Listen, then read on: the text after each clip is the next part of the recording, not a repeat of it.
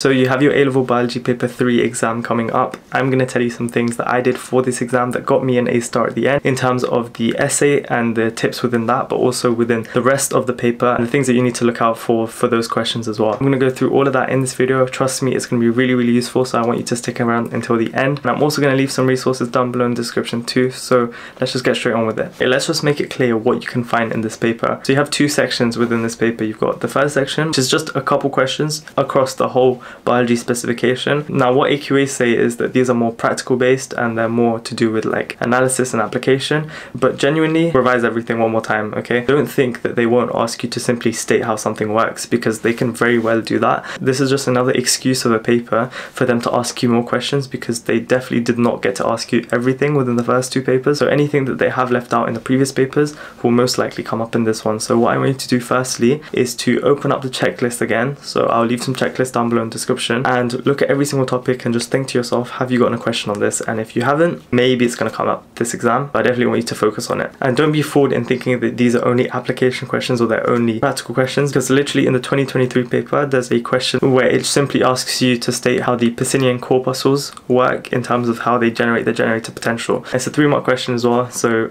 it's just literally a case of whether or not you know it or you don't. Okay, that being said though, please go over your practicals for this paper. They're going to ask you questions based on the practicals. And now if you want to know how to revise these practicals, what I personally would recommend for you to do is to look at every single one of these practicals, find the methods for them, and really try and understand why they do every single step. I said this in the previous videos, I'm going to say in this one as well. Make sure that you know why they've done every single step within the method because they can ask you about any of them and ask you why have they done this. And if you don't know, then you don't know. Because in terms of what kind of questions they like to come up with, either they give you a method and they ask you to to write about certain areas of it. Or maybe they give you a method and they ask you what's wrong and they ask you to change something or something like that. Or they give you a graph or they give you a table or they give you something like that and you have to explain and make conclusions about the results. There is a miss Estruch video about the practicals that i will leave down below in the description as well that definitely helped me in understanding how the practicals work and what kind of questions they like to come up with. So definitely check that out if you're wondering about how the practicals and stuff work. In terms of my predictions and what can come up in this paper only in paper one there were no evaluation questions. I don't know about paper two, so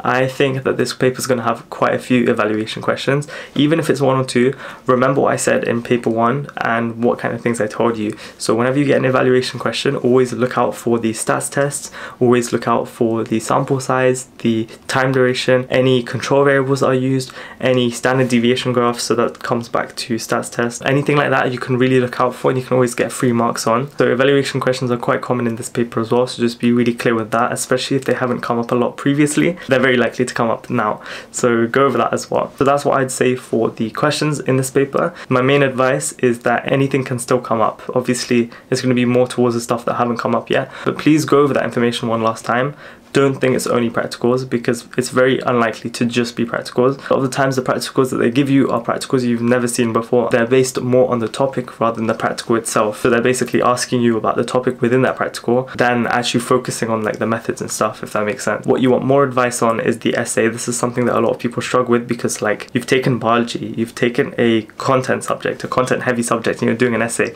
Like where's the logic in that? I don't understand. But I know a lot of you guys hate essays and that's why you've chosen biology and now you're doing essays but I'll tell you some things that helped me for this paper and for the essay itself because it's really really easy to do well in if you know what they're looking for. Okay, firstly, what should you be doing in terms of right now in terms of last minute what can you be doing to revise for the essay?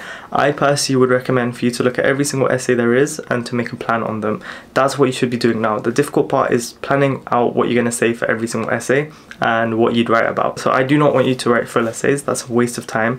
What i want you to do is sit there and plan out every single essay and i'll talk about how to do that now. So let's just look at the essays for last year and i'll try and give you some advice on how you should write these essays and the things that will help you get full marks or at least near full marks. I managed to crack it when I did an essay and I managed to get 24 out of 25. I'm not flexing, I'm just saying I managed to figure out what it is that they wanted from me and what kind of things I need to write about and how I need to write it. So in terms of the 2023 paper, which I'm looking at right now. The two essays that came up last year were the importance of interactions between organisms and their environment and the importance of membranes in the functioning of cells. Now the first thing I want you to do, okay, when you go into the exam is to look at the essays straight away. It's up to you whether or not you want to plan them and do them first or you want to leave it to the end, but I do want you to look at the essays. That's something I want you to do. So at least it's in your subconscious. So what I did was I went to the end of the paper for my exam and I saw the two essays and I had it in my mind and I did the rest of the paper and then I came back to the essays and I had more of an idea in what I was going to write about. So that's something I definitely recommend for you guys to do as well. Now in terms of writing the plan,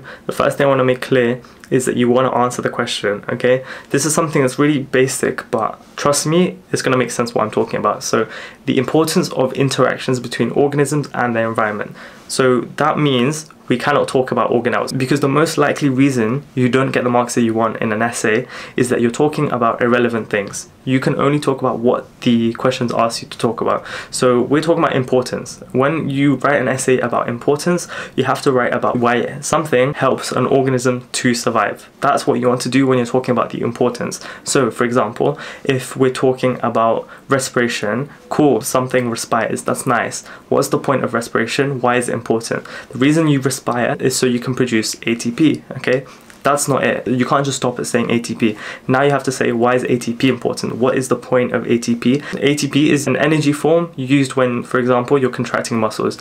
Why is it important that you contract muscles? Well, an organism needs to be able to do that to run away from their predators, for example. Now we've linked the idea of respiration to running away from a predator which is the reason it's important because now it allows for the organism to survive. Do you see what I've done there? The point is that whenever you mention something, you have to show the examiner why that thing helps an organism survive. Now, let's go back to the questions that we have in the 2023 paper. It says here between organisms and their environment, we have to be really clear in answering the question only the question. So if you talk about anything within an organism, you're not going to get any marks. You have to talk about stuff between organisms and their environment. So you have to talk about it outside of the organism. Whereas the second question here, the importance of membranes in the functioning of cells. You can only talk about membranes when you're regarding them to cells. Sometimes they say something specific like that and you might not pick up on it and then you end up losing marks just because you talked about something irrelevant. Now, in terms of how you plan out your essay, the most important thing that you want to do is to hit as many topic areas as you can within the whole specification.